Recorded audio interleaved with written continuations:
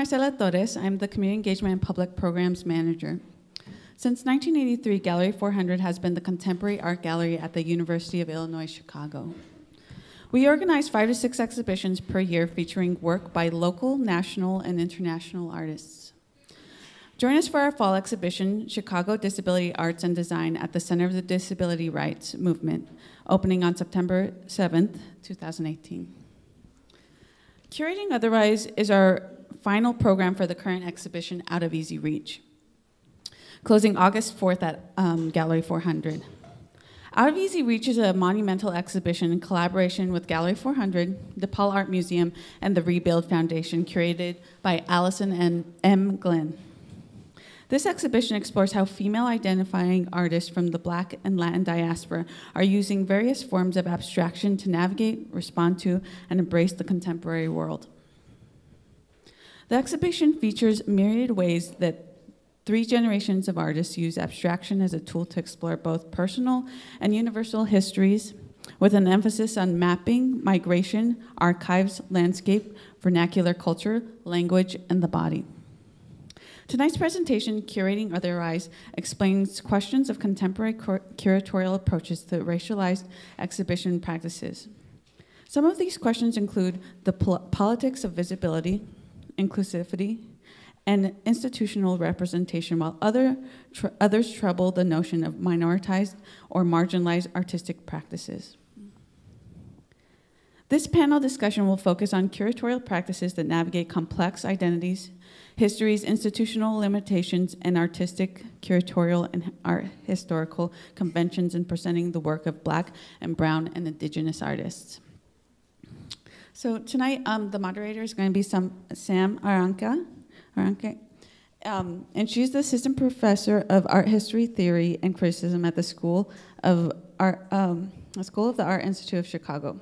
Her research interests include performance theories of embodiment, visual culture, and black cultural and aesthetic theories. Her work has been published in eFlux, Artforum, Art Journal, uh, and Transcript, an interdisciplinary online journal in the humanities and social sciences at UC Irvine. She has written catalog essays for Sadie Barnette, Kambui Olujimi, and Zachary Fabri. She's currently working on her book manuscript entitled Death, Death's Future, Futurity um, The Visual Culture of Death in Black Radical Politics. Allison M. Glenn, curator of Out of Easy Reach, and associate curator of contemporary art at the Crystal Bridges Museum and American um, Museum of American Art. She was previously the manager of publications and curatorial associate for Prospect 4, the Lotus in Spite of the Swamp, which opened November 2017. Janet Dees is the Stephen and uh, Lisa Munster Tananbaum Curator of Modern and Contemporary Art at the Block Museum of Art, Northwestern University. Prior to her appointment at the Block in September 2015, she was curator at Site Santa Fe, where she had held various curatorial positions since 2008. Dees was a part of the curatorial team for Unsettled Landscapes 2014, the inaugural site, site, SITElines, New Perspectives on Art of the American, America's Biennial, and has curated exhibitions and produced new commissions with a wide variety of contemporary artists. Risa Puleo is an, inter, uh, is an independent curator. Her exhibition, Monarchs, Brown and Native Art, Artists in the Path of the Butterfly, opened at Bemis Center um, of Contemporary Arts in Omaha in December 2017. She was current, is currently on view at the Museum of Contemporary Arts North Miami and will travel to Blue Star Contemporary and Southwest School of Art in San Antonio, Texas, the Nerman Museum of Contemporary Arts in Overland Park, Kansas, and the Soap Factory in Minneapolis. The exhibition catalog will be published this month by Name Publications. All right, thank you, everyone. I'm going to turn this over to Sam now.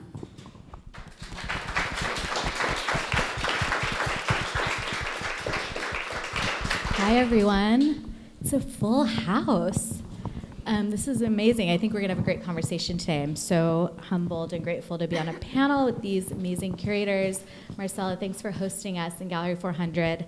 Um, so I'll, i just have like a couple of introductory remarks to frame what we'll be doing today, and then we're really going to turn it over to these brilliant practitioners, um, and we'll go into a conversation for a little bit, and then turn it over to you. So you better have questions. There's nothing like awkward silence at a conversation.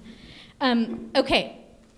Out of Easy Reach features works by 24 artists and, and it has been exhibited across Chicago's DePaul Art Museum, Stony Island's Art, Stony Island Arts Bank, and right here in Gallery 400. This exhibition's this exhibition focuses on uses of abstraction since 1980 by Black and Latinx artists from across the spectrum of women. Plotting a dynamic range of styles, techniques, and historical affiliations, the show is organized around intertwined conceptual frameworks, including mapping, migration, archives, vernacular culture, and the body. Featured artists include Candida Alvarez, who's here tonight, Barbara Chase Riboud, Howardena Pindell, Maren Hassinger, Ayanah Moor, I see you in the back there, Juliana Huxtable, and Lisa Alvarado. While each venue's exhibition could be discussed as a solitary unit, the exhibition should also be afforded the more difficult task of thinking interinstitutionally. Martine Syms' stellar 10 photograph series, More Than Some, Less Than Others, which is right here in Gallery 400, recalls Xaviera Simmons's On Sculpture 2, installed at DePaul Art Museum. Both performatively engage with histories of conceptual photography to form a kind of seamless art historical derive. We can think of Syms's work as being shaped by the smoggy sunlight specific to Los Angeles. I'm an LA girl, so that's very important to me alongside Simmons's departure from Kenneth Josephson into the ocean's deep memory of the transatlantic slave trade. In its focus on abstraction, out of easy reach, strives to relieve the exhibis- exhibiting artists of the representational mandates often placed on women artists and artists of color. On the occasion of this exhibition, today's panel question uh, explores questions of, the contem of contemporary curatorial approaches to racializing exhibition practice. To begin, each panelist will give a three minute taste of their curatorial approaches, and then we'll dive into some conversations that I've, or questions that I've pre planned, and then we'll kind of turn it to you. Janet, Risa, and Allison approach these questions of subjectivity as particularly spatial, material, sensorial, and affective thus opening up a space where exhibition making itself can be thought of as an aesthetic protocol. What all three curators have in common is a deep commitment to rethink how the shapes, shadows, and senses of racial formation are central to exhibition making. While their approaches are varied, they allow us to ask questions about the presentation of race in the museum or the gallery, such that we can address the politics of viewership, the pleasures of encounter, and perhaps the capacity to form other versions of ourselves.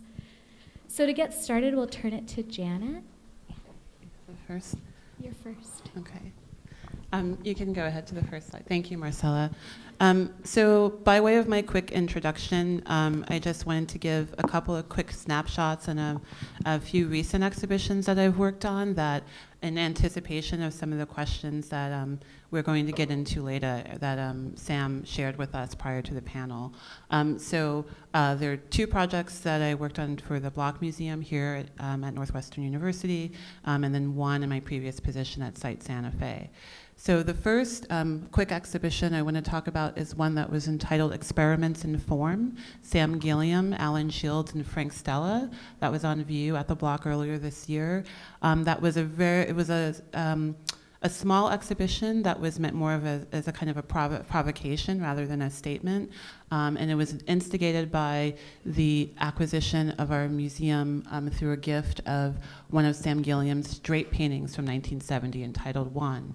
Um, and if we go to the next slide, um, so what I was thinking about was how to contextualize this work within our collection um, and think about, um, you know, Gilliam's practice and taking painting into three dimensions and thinking about what that meant and his interest in color and materiality and what um, other artists were in our collection um, that he had connections um, to and chose and happened upon the work of Alan Shields and Frank Stella.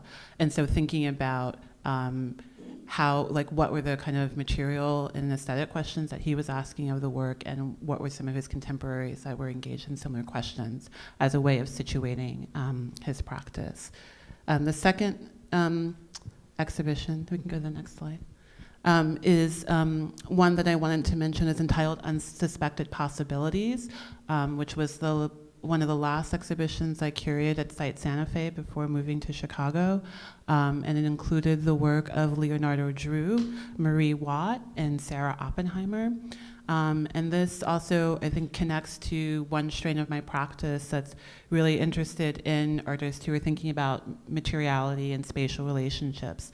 And this was um, bringing together these artists so that they could think um, um, kind of collaboratively about the space and how they might create an exhibition and dialogue with each other um, that highlighted these different aspects of their work. And so what you see here um, is an installation of several works by the um, artist Marie Watt, um, who often works um, with blankets as, as, a, as, a, as her kind of primary material to create abstract and sometimes representational compositions. In the background is a, a sculpture um, from by Leonardo Drew.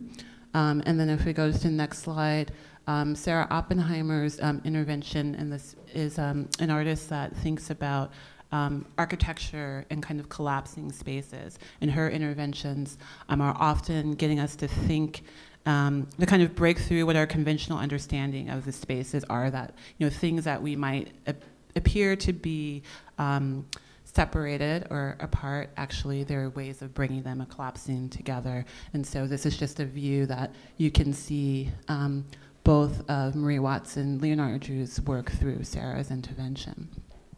And then the last um, quickly I wanted to mention was an um, exhibition that I um, curated here at the Block Museum, which was entitled If You Remember, I'll Remember, um, and wanted to show how that first work that we saw um, if you go back, by Marie Watt, which was included in the previous exhibition, is now in a different context. And we need to think about how um, a work can be read differently depending upon the context in which it's situated.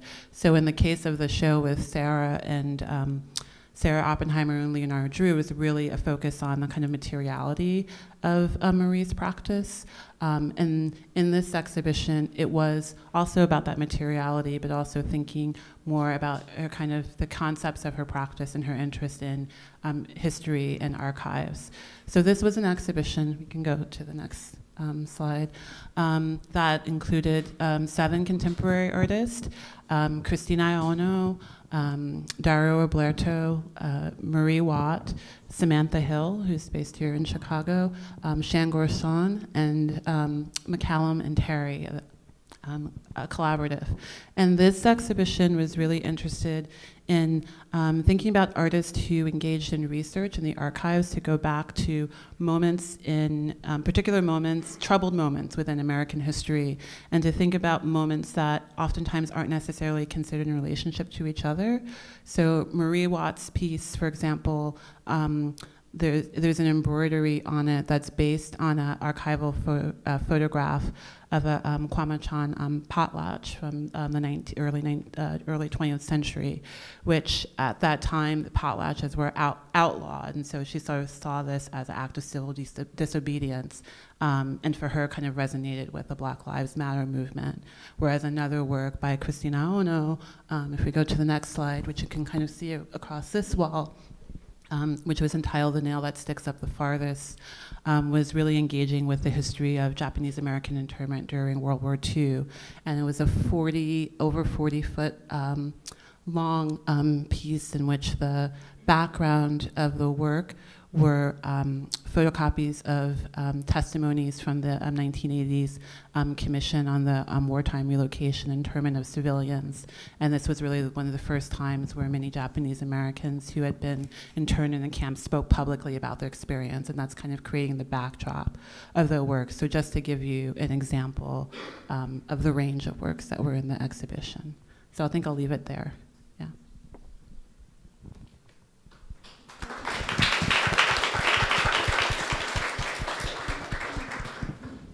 So in August of 2016, I began having a conversation with the director of the Bemis Center for Contemporary Art in Omaha, Nebraska, about living in Omaha for a year and making an exhibition that responded to the research that I would do there. And if you remember August 2016, it was kind of a sea change moment, and two things were happening um, just north of Omaha and then quite a bit south. And one of those things was Standing Rock. The other was a presidential campaign that was um, founded on a promise to build a border wall. And for me, growing up in San Antonio, Texas, I saw those two sort of political events as deeply entangled in ways that I didn't feel anybody was talking about. For me, they represented, on one hand, um, occupational desires to um, enclose people who are indigenous to the Americas in reservation type situations or create a border that was impassable. Um, so I proposed Monarchs, Brown and Native artists, in the Path of the Butterfly is bringing these two groups of artists together, and then also artists who had backgrounds such as mine, which meant like assimilated in like being in the right place at the right time, and then being guaranteed American citizenship, however uncomfortable that may be. So I moved to Omaha, Nebraska, and started doing research um, via road trip um, across Nebraska through the Dakotas. I went to Standing Rock in Oklahoma, and then started filling out what became this exhibition. Um, the monarch butterfly actually was kind of a, a, metaphor that came late to the game um, because I realized that the area that I was traveling in was also like the most trafficked path of the monarch. And so it became, um, if you could just like roll the slides, yeah. Um, it became a way to think about what the artists that I were doing, uh, was working with, were thinking about a number of issues um, that were personally and politically important at the moment. So migration, um, certainly the monarch migrates, but I was also really interested in working with artists who were thinking about um, the impossibility of movement. So this is a installation by an artist, two artists, Cannupa Hanska Luger and Marty Two Bulls. Both um, Cannupa's from Standing Rock and Marty's from Pine Ridge, and it's 15 feet of ceramic bottles and wine glasses and beer butts, and they're set up as like a drunken target practice, and spoke to me really about like serial boredom and being entrapped in a place. Um, transformation, butterflies transform. And so there was a way that I saw that artists were engaging with material and process based um, practices as a way of accessing a spiritual plane. Um, and that became a theme of the exhibition. This is an amazing coat by Jeffrey Gibson, which I believe you've shown too, Janet. Um, not, it was in the one that I, but yeah. Sorry. um, so what's next? How artists were grappling with placing themselves in space, but also in time. And so there became um, certain meditations on the archive, how to um, establish yourself when the archive of your presence has been destroyed? And how do you move forward into the future without with, while also writing your past? And i saw how artists were thinking through that question through science fiction. Salvador jimenez flores is here in the audience um, with this really incredible ceramic nopal uh, resistance of the hybrid nopal but also doing deep archival research projects like Guadalupe Rosales, who's based in Los Angeles. And so bringing these artists together was also about um, what came out was a lot of like variety of mediums, materials, and process, and then abstraction became the kind of primary mode for thinking about these questions of like indigeneity and being in this place at this particular moment.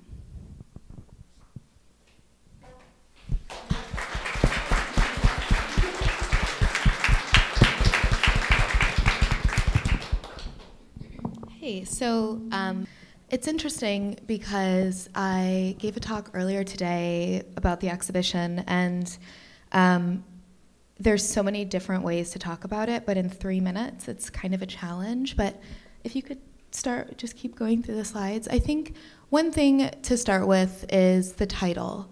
Um, I think this will really set the stage for a lot of the metaphor that um, kind of strings through the exhibition. So this was taken from an essay that Thomas Lax wrote in 2008, and it was about Leslie Hewitt's work. And this is, oh, the, um, yeah, this is Leslie Hewitt's work here. Um, it's in the front gallery at, um, here at Gallery 400. And the way he talks about this work, he says it's, quote, pushed back by a disappearing perspective, the objects and the memories they reference are out of easy reach, end quote. And that for me um, is really a great way to kind of enter the exhibition and enter the conversation. These 24 artists who happen to be female identifying, who happen to be from the larger Black and Latinx diasporas, all of these, all of this information that is kind of brought to the exhibition actually only exists in the context of the exhibition because of um, omission. So because so many of these artists have not been included in, in these exhibitions that have happened over the past 40 years that are looking at abstraction, it's important to call this out. And it's important to speak about how these women have been hidden in plain sight um, and how often you know the you can be in the room with all of your friends and not get the recognition. And there's so many artists that have been working for so long um, and so there's four particular there's four artists that i i'm not sure if this is in this slide but there's four artists that identify as kind of the front runners or like the cornerstone to the exhibition, and they're Candida Alvarez, Maren Hassinger, Barbara Chase Riboud, and um, Howardena Pindell. and through these four artists, the to the 20 artists that come after were subsequently born in the two generations, um, either generation, uh, either the millennial generation or Generation Y. Um, and within this, I mean, I feel like there's so much I could dive into, but I will, um, if you could just go to the next slide. So I'll just talk about one particular moment that's happening at Gallery 400. So this intergenerational play was super important. So the exhibition begins in 1980, and I don't know how many people saw uh, Naomi Beckwith's uh, exhibition, her retrospective with Howardena Pindell, but we didn't have any conversations prior. Um, I really enjoy how she also, she and Valerie identify 1980 as a certain important, as an important moment. Um, so Out of Easy Reach starts in 1980 with this work on the left. And in this 12 minute video, Pindell employs the theatricality of performance to expose and interrogate the various ways stereotypes are projected upon one's physicality. Though this film is unique in Pindell's oeuvre, it is integral to Out of Easy Reach for several reasons. As the oldest work in the exhibition, it acts as an anchor, bridging the performance practices of the late 1970s and early 80s with those of younger artists such as Juliana Huxtable, seen here on the right. Huxtable, who's a transgender woman, uses her body as a site, creating photographs and text based works to present a subject position that sits alongside, but outside of, what has been determined to be normative, extending Piper's object- objectification of the self as a way to subvert the cisgender gaze. So this work on the left is called Nuwab Chair. In this photograph, Huxtable imagines herself as a follower of the Nuwaubian Nation, which is a radical religious sect that combined Judeo-Christian and esoteric beliefs. And what I really thought was uh, an exciting kind of pairing was not only the way that these artists are employing theatricality, so performance and um, but also how they're using their bodies, right? And so we're talking about abstraction. And what I really ask the viewer to do is go on this journey with me in all of these different spaces and think about how, how these common descriptors that we use to talk about abstraction might not necessarily be, necessarily be applicable to all bodies, all artists. And so asking for these um, new understandings of how we think of abstraction. And I think I'll just leave it there. Yeah. Mm-hmm.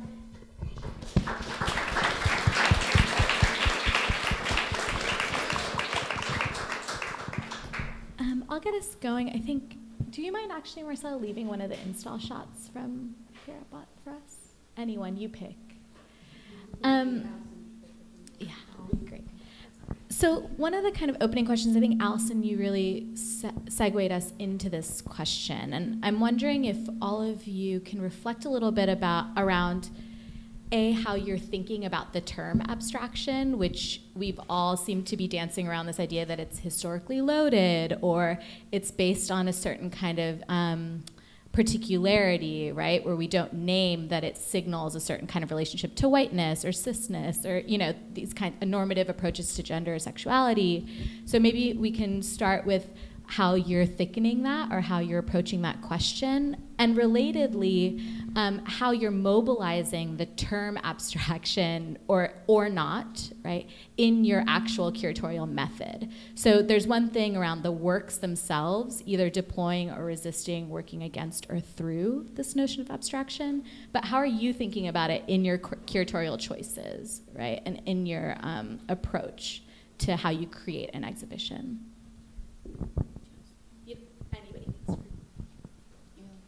Yeah, I can start. I mean, for Out of Easy Reach, um, it was really about not only, well, you said, how do I define abstraction? I mean, relying on some of the moves, so some of the formal devices, such as redaction, although redaction isn't, does, abstraction doesn't own redaction, right? But these, these moves that are linked to mark making, that is linked to commonly held descriptive terms such as um, painterly, gestural, or hard edged, right? So borrowing or relying on some of those formal devices, but really imbuing it with a, with a specific set of concerns. And sometimes, like Juliana and Howardena, they're socio-political. They're tied to the body. They're, they're tied to mapping, migration.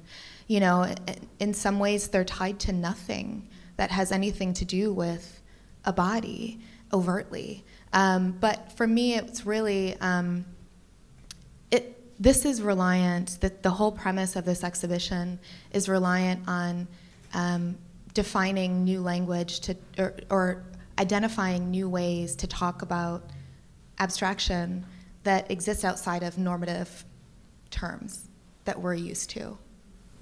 So. I'll follow up on that because um, my conversation with abstraction began 10 or 15 years ago, and I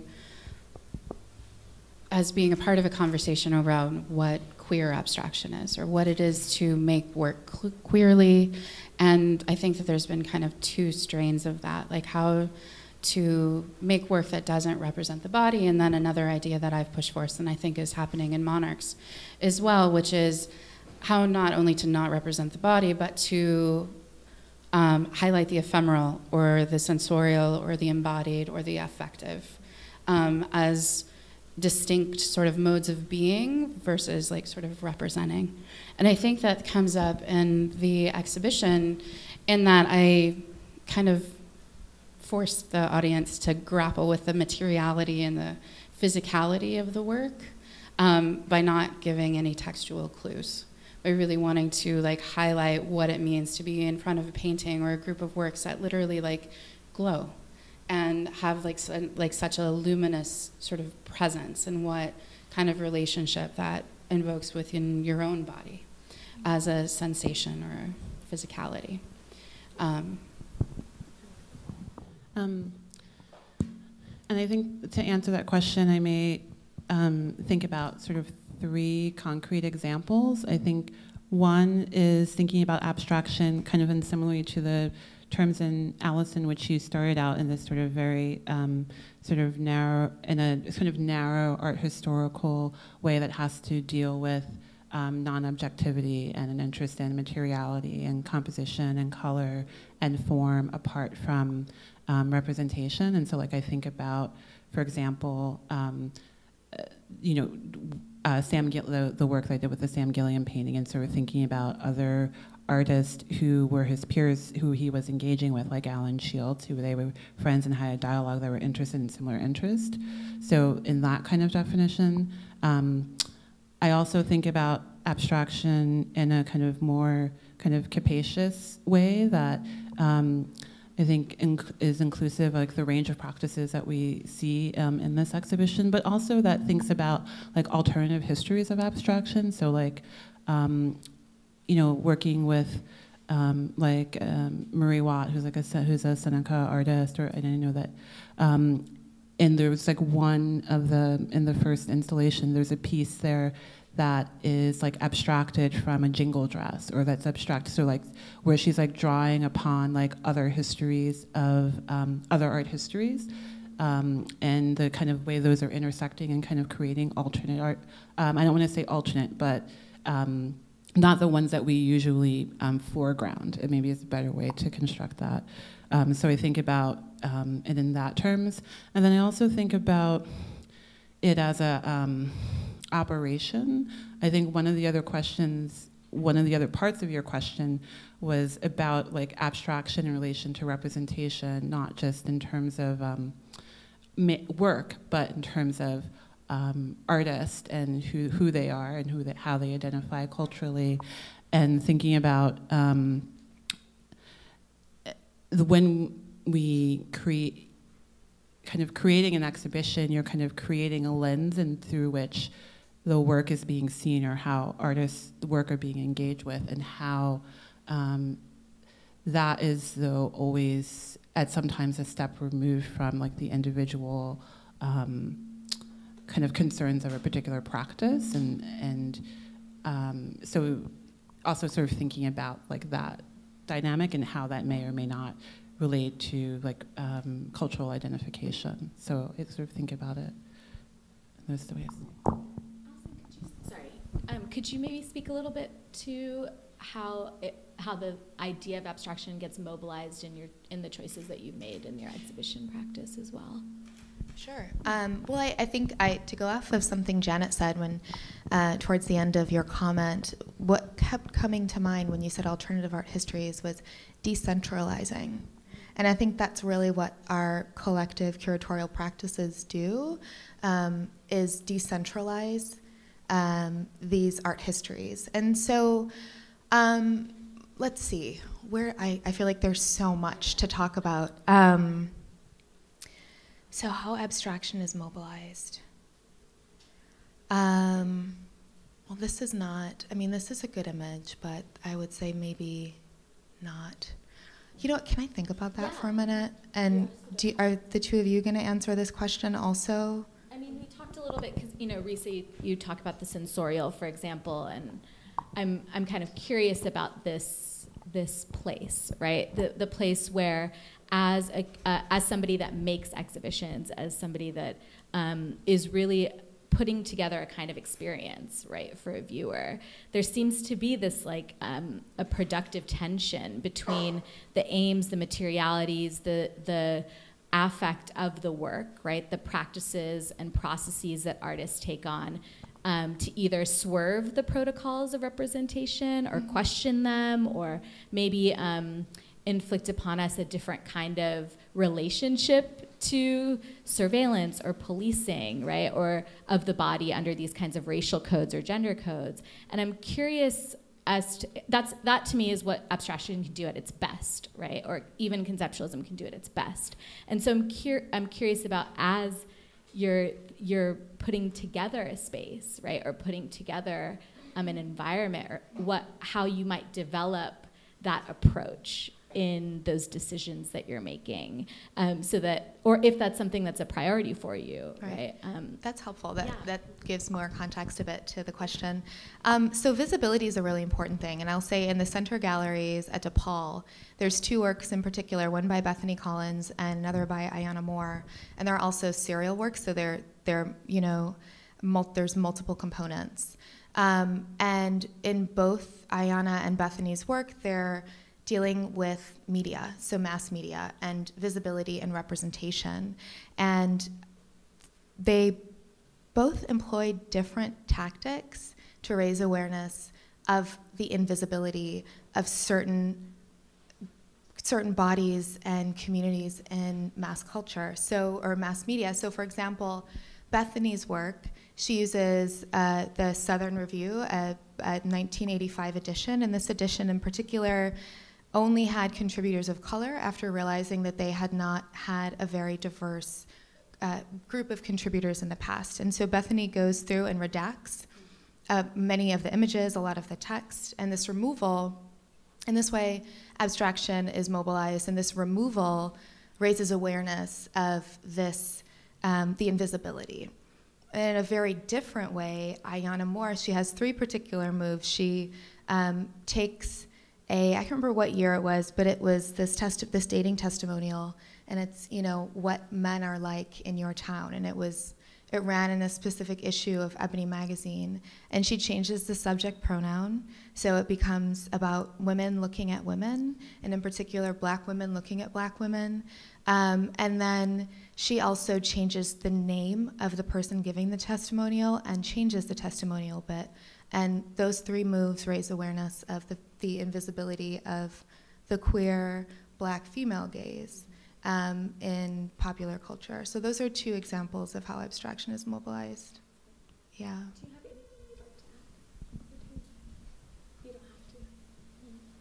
I mean, I have a, I kind of have, I, I feel like the energy going up in the room, so I'm going to turn it over after this next question. But this actually makes me think a little bit about how I would like to, I'm curious about your reflections as three curators working particularly in this area. Not to say that you only you know, you only exhibit works that are interested in abstraction, but seeing that there is a kind of resonance here, I'm curious to kind of get your reflections on why abstraction seems to be so hot right now.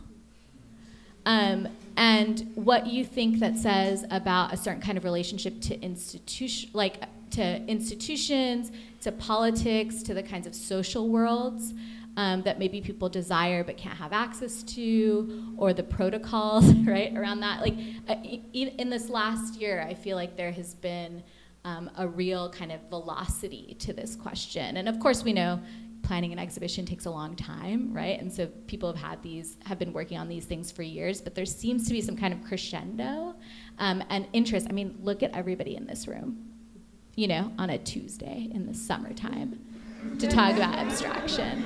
So maybe like I would love to hear you know your reflection, like why you think it might be um, of of particular interest or urgency as a framework when it comes to yeah exhibition making or approaches.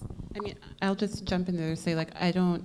I think it's it's interest. It's like we have to frame in like which space it's urgent or which space it's become so hot right now. Because I think about like exhibitions, you know, like Kenkeleba Gallery, like in the 1990s, did a really important exhibition that was about, um, it was called like the, the Search for Freedom, that was all about African American abstract artists.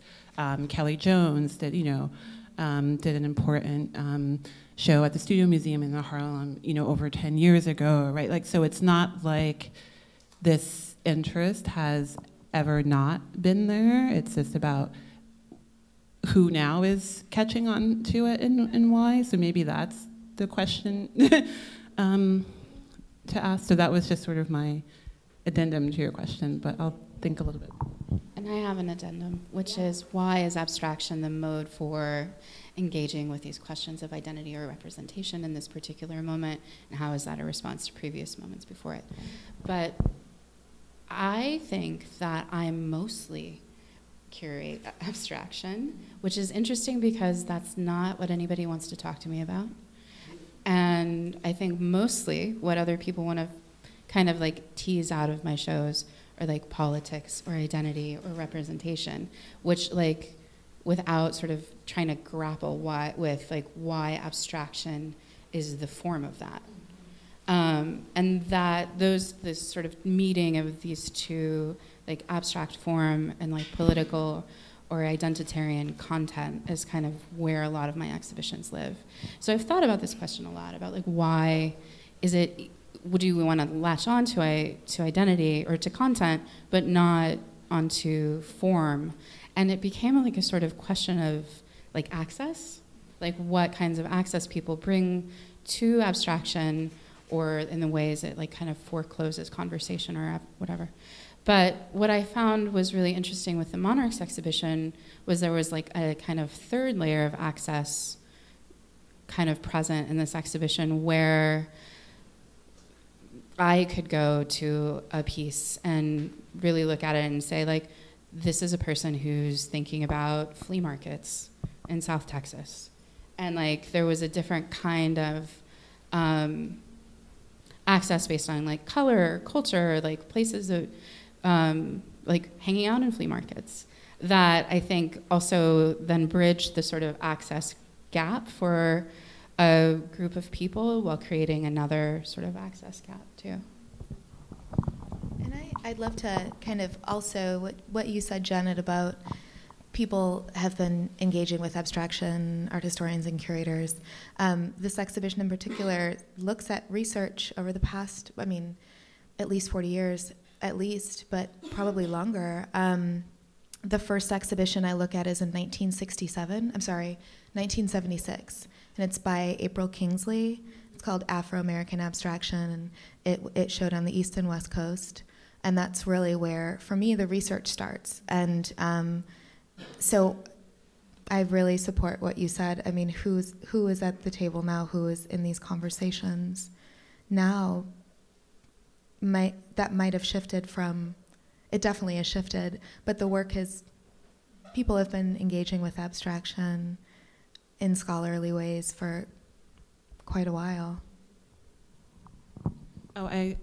Um, it was something that Risa had had said that just sort of made me um, think about an anecdote related to one of the artists in um, one of the exhibitions. I Like actually, someone Shan Goshorn, who you also have a great interest in her work as well, um, who um, is an Eastern Cherokee artist um, whose work really engages a lot with the history of um,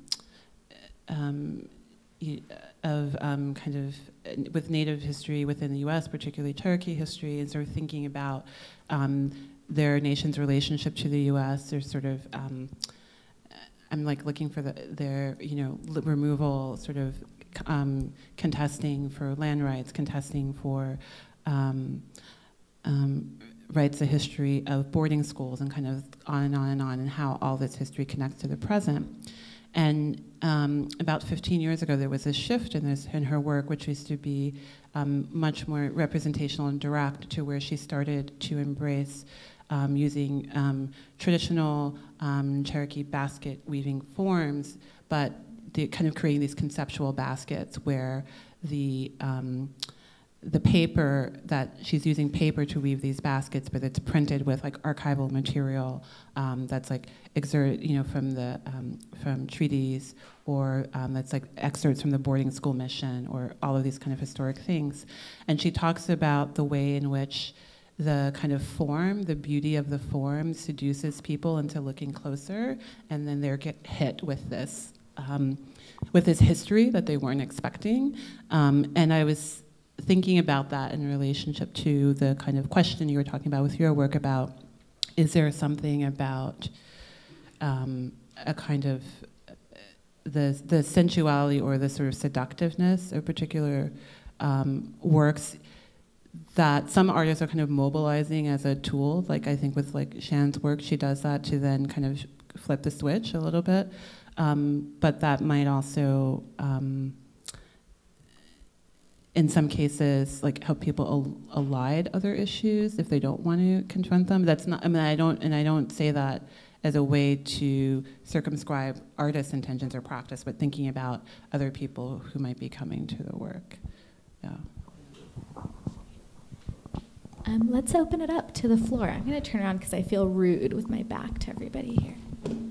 Does anybody have any questions? Oh, let's start in the back.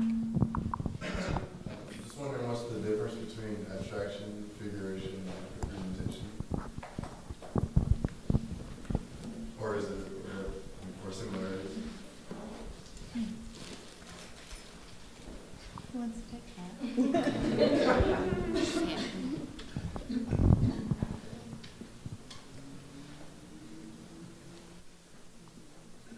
Okay, so figuration includes the body, uh, a visible form, a visible body, right? Often it's figure, the figure, so the presence of the figure.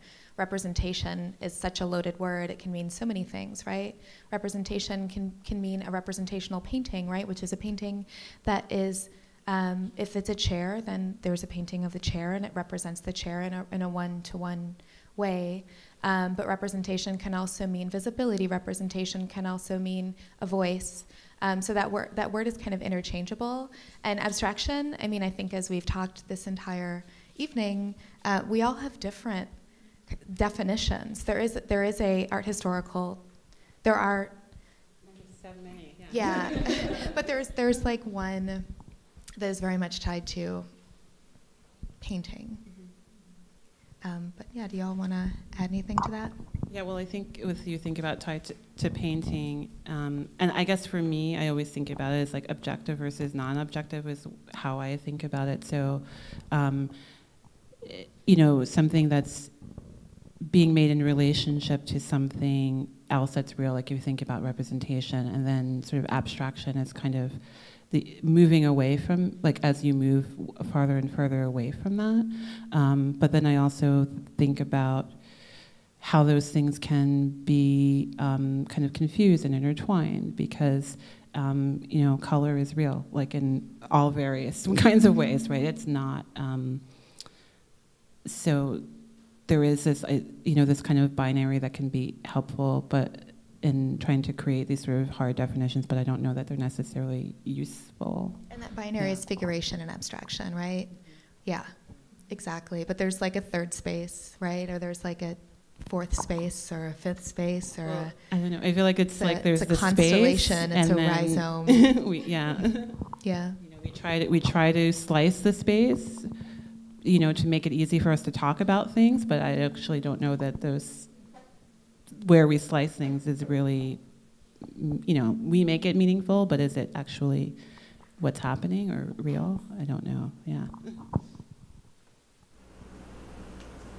So what's the abstraction in the Martine piece that Sam kind of alluded to earlier? In much to what y'all just said. Yeah. So, well, One of those kind of borderline. Yeah, absolutely. That's a really good question. I mean, so for many reasons, um, this is these are all taken from a film, um, and the the particular works that I included in the exhibition are based. The, these particular photographs or film stills are um, based on are taken from shoot uh, shoots in Chicago, L.A., and Detroit. So for me, I mean, just to kind of be honest, they're they're really those three cities are really important to me. Um, I was born in Detroit. I lived in Chicago for about 10 years, and I spent some time living in LA. And so, thinking about how Martine was engaging with the landscape um, that is evident in a lot of these works, and you can't really see it in this image, but the fifth in on the left-hand side, there's the Detroit News. Um, there are different different different kind of framing devices. Um, I also kind of think conceptually um, this idea of mapping a landscape, this idea of trying to tell. Uh, these films are all narrative-ish, um, trying to tell a story about an experience that uses a series of composite parts um, and how this narrative is inherently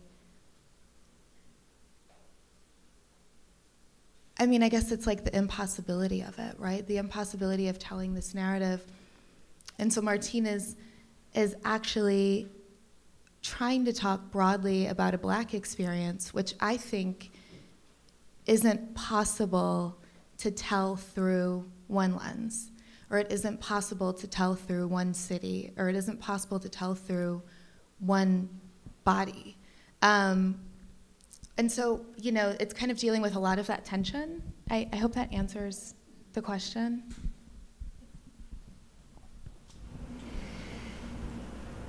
Um, yeah, I have a question. Um, so um, I'm taking a cultural heritage class right now, and so we talk in our class about how um, cultural heritage, the preservation of cultural heritage, creates social memories. And I'm curious to know that you were talking about how you um, choose your um, uh, the, the abstract um, representations and the different artists. Um, do you take that into consideration when you're making the decisions on what uh, artists you're going to curate um, and how um, you're creating um, the preserving cultural heritage and creating social memories? And also, I'm curious to know, um, you mentioned how um, over the over time there's been a lot of focus on abstraction. What about those artists that don't necessarily do their work in abstraction? Um, do you feel like they're being excluded?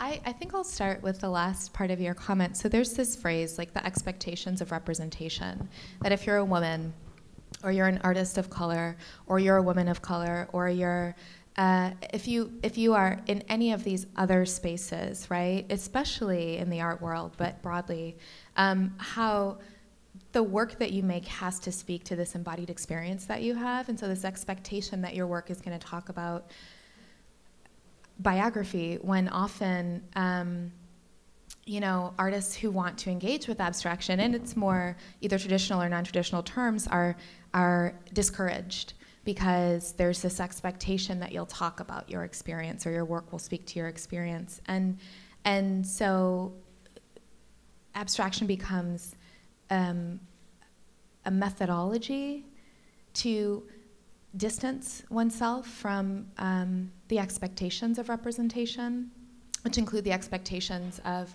figuration, the expectations of the body, the expectations of a certain essentialized experience, that artwork is somehow imbued with. Um, and so that for me um, is, I guess, the answer I have.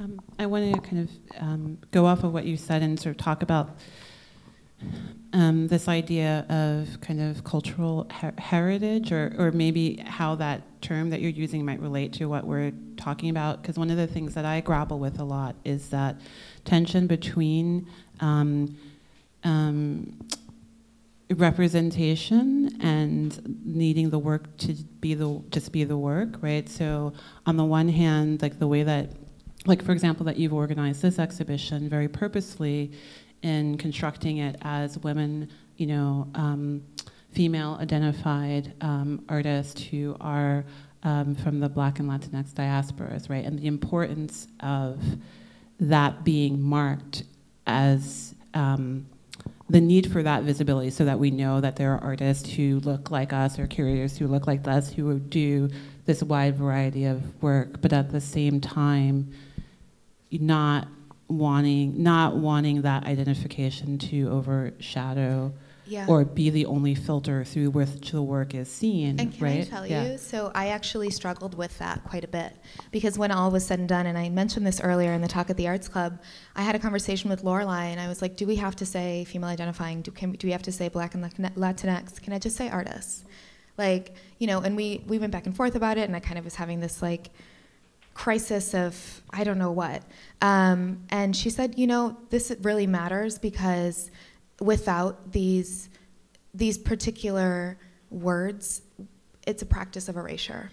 And um, she said, you know, the reason why it's important to include these descriptive um, terms or, or just these ways of identifying the artist is because there has been such a lack of visibility, and, and she encouraged me to feel confident in in identifying the space that, that the exhibition creates because I was there was this tension for me around like now I'm othering this show or now I'm setting up a stage for you know people to engage with the work with all of these preconceived notions. So it's interesting that you mentioned that because it was something that was really tough for me. I mean, up until probably, the, and the wall text was already printed, so it was like, like it was done. But um, the conversation, but the conversation was one that I was still kind of like biting my nails about um, because I didn't want to create a space where there was a lens already. I mean, other than the fact that exhibitions create lenses, right?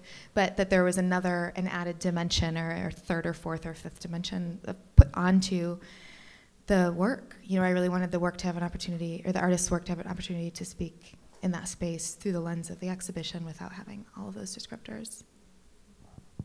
But yeah. I can answer your question a little bit more, literally just because of the content of the exhibition that I made. Um, there's a number of artists in the show who are really focused on like recuperating lost or dying processes. So, for instance, Margarita Cabrera is an artist who's currently based in Texas, and is originally from Monterrey, and will go to small towns in Mexico, learn particular craft traditions, then bring them, like literally import them through her experience or body to the United States, and then organize community um, events where she teaches those practices to brown communities or neighborhoods, and then creates the work through the replication of that process. Other artists in the show are like Nancy Friedemann-Sánchez, or in some cases, Harold Mendez. Um, and I think for me, the question was about um, what does it mean for all of these artists to be thinking recuperatively and trying to bring, and it turned into kind of a part of the exhibition, exhibition that became about um, rebuilding the archive and like situating yourself on a temporal kind of continuum, like situating yourself in the presence in relationship to kind of past that seems unacceptable, un, inaccessible, or unscripted, and then as a way of sort of moving through time into the future.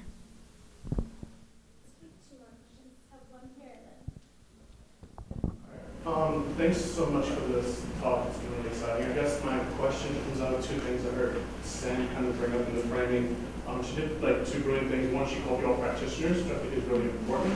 Um, we are talking about abstraction vis-a-vis artists, but it seems that abstraction is doing work for you um, in the ways that you have not even approach, but do the work that you do. And then um, Sam also talked about abstraction as the particular taking the place of universal, which is a hegemonic predicament of like the art world, right? How can white man, white men, um, stand in for um, the universal and that being the claim that they have to abstraction. So it's an interesting way that abstraction, you taking it, becomes a way to respond to that hegemonic predicament without having to work with inclusion, without the working on the line of exhibitions being speaking back to hegemony. But I guess what I'm wanting to ask in that regard is you could speak towards your own style. Because on one hand, there's approach and there's method, but all those have normative horizons, right?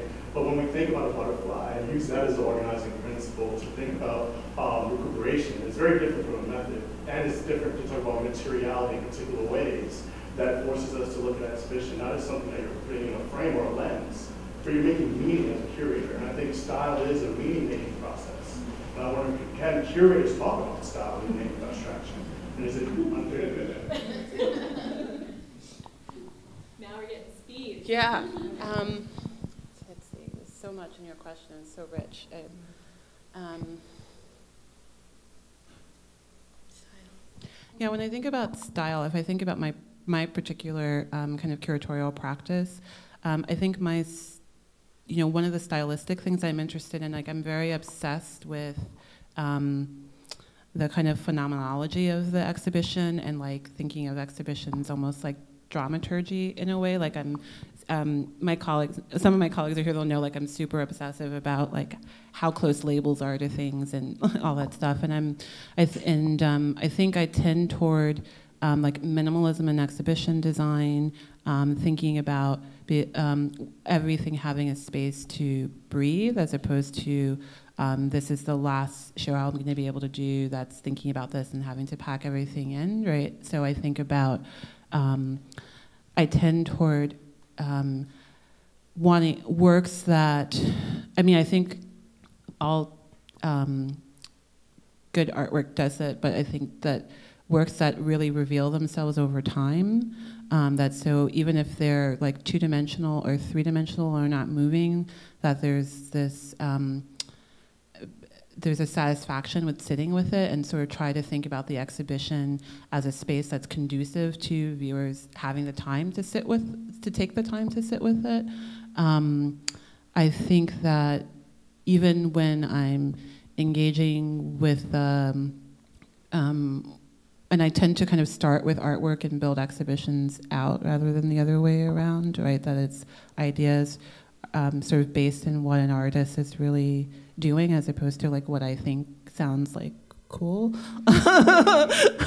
um, and I think um, I also, even with exhibitions that are really um, conceptually and historically heavy, which I also tend to have an affinity for, um, that there that the kind of aesthetic of the work tends to be very much um, also engage in these questions of, of materiality and of, and of, of form.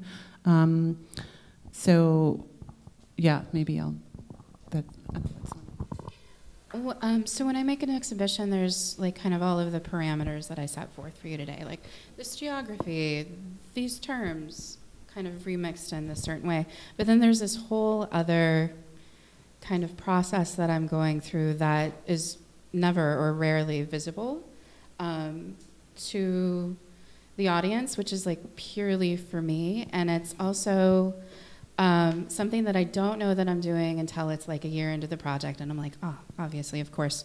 And usually that comes out at a certain moment when there's like a poetic aspect, and the butterfly became that, which is also interesting because I go back and forth about like it feels trite and it's also poetic, and then it like is really meaningful at a lot of times, and then also feels slightly cliche. But um, in this particular case, like the the sort of whole internal grappling that I was doing around this show was that I had been traveling for four years before and hadn't been in any one place for more than like four months at a time for four years.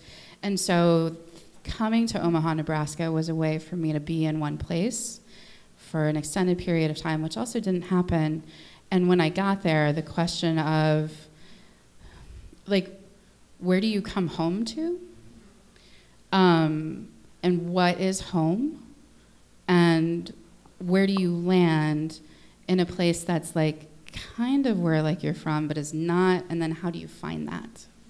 So i think that kind of emotional or like personal processing is like a kind of subtext throughout that kind of also peeks through in moments with like lyricism Yeah, I would say the first thing I think about is the site because exhibitions operate in different ways within different spaces. Um, I, what happens at Crystal Bridges is very different than what's, what can happen at Gallery 400. You know, so it's really about, um, I think about the viewer a lot and I think about the body and how a viewer is going to think through space. So these are um, some really early questions that I ask myself, like what is the site, right? Um, and then I like to make it a bit impossible. I love site specificity. I also love multi-sited projects. Um, and I just, I, the idea of a derive, which was so poetically discussed um, in, in your introduction, is super important to me because a lot of it isn't um, this decentralization, right, is, is super important to me. This idea of collaboration is really important.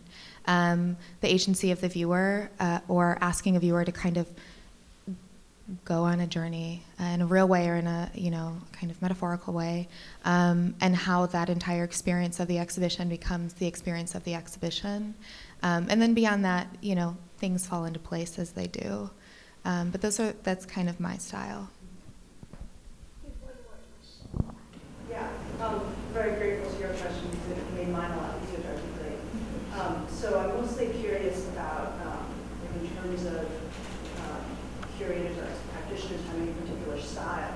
Um, for Janet Muse in particular, um, to find it interesting for you to talk about your own creation, but I, was wondering if you could speak about like the each other's curation and kind of to what extent um, our reach echoes or differs from or reinforces what it is that you try to do in your work, and then um, more broadly, um, then if you could speak of since been um, mentioned some particular through lines of inclusion, um, lack of inclusion, decentralizing, time, horizon, whatever through lines are meaningful to you, if you could speak to the notion of um, collaboration in relation to um, empirical issues.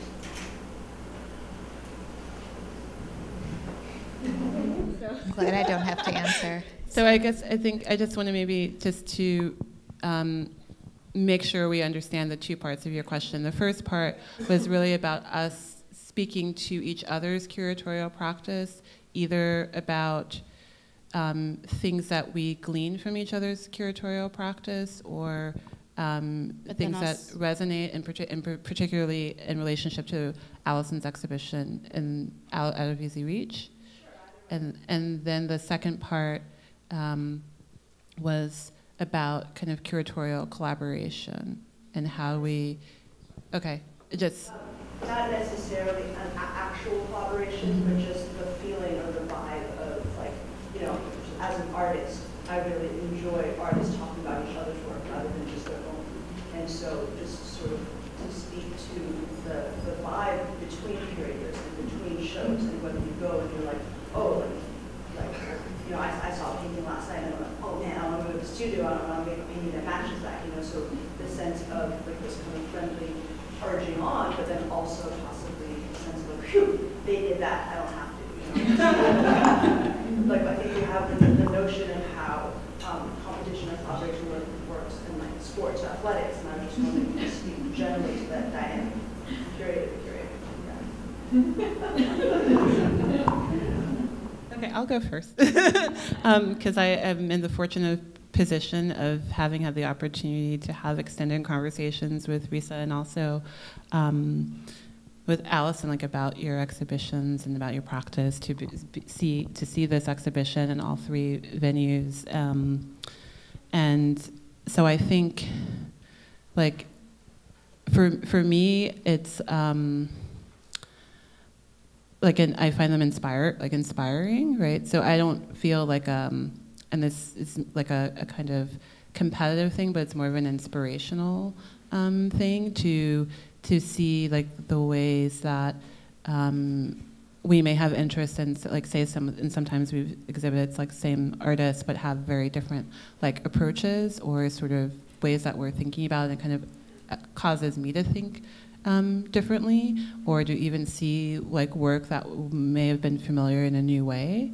Um, and I feel the same about this ex- your exhibitions uh, um, as well. I've had the opportunity to see all, all you know, all of them. Um, and so I think, you know, or, or even thinking about, like you mentioned, the Howardena Pindell exhibition that Valerie and um, and uh, Naomi did, where it was like after the end of that, I was like crying. You know, it was so um, important and beautiful and lovingly created that you could feel it um, in the exhibition, right? So I feel like um, I, I try to um, just kind of connect with um, and, and keep having those conversations that are um, inspirational and that kind of help me to keep thinking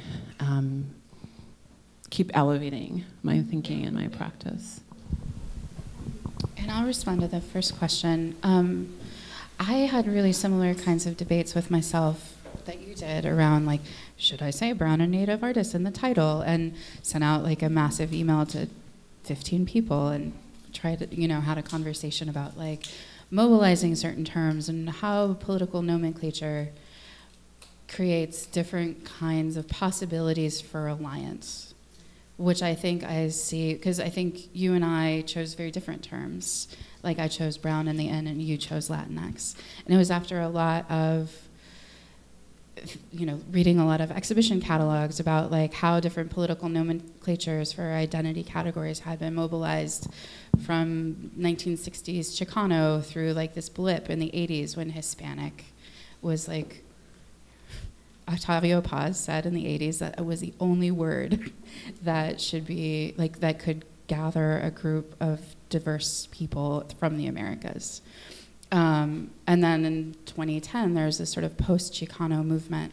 So, what kinds of framings can happen through what kinds of words?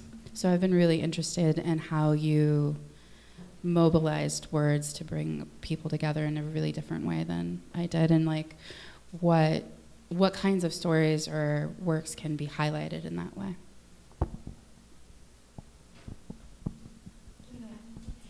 Um, so many. um, well, I mean, I guess I can just briefly speak to your point of Latinx, I actually also had a conversation with Mia Lopez, like in the nth hour, where I was like, Latina, Latinx, like let's talk about this. If I'm saying female identifying, like what am I doing here? Let's talk through this. Like how do I, like what, what, what am I saying? Help me, you know, think through um, how I can mobilize um, based on the language that I include. And so, um, I think this answers Jana's question, both both questions. Um, I'm really reliant on my colleagues and their knowledge, and really reliant on the moves that they make and and the decisions and the ways that they invest themselves in certain conversations and scholarship. Um, and for me, it's a constantly negotiated space of, of you know having the 15 people that you emailed or or Janet thinking about the conversations that you might have. Um, and so it, yeah, it, it- the collaboration unfolds um, in so many ways. And that's, I guess, the end of what I have to say. Thank you, everybody. Thanks to our panelists and Gallery 400.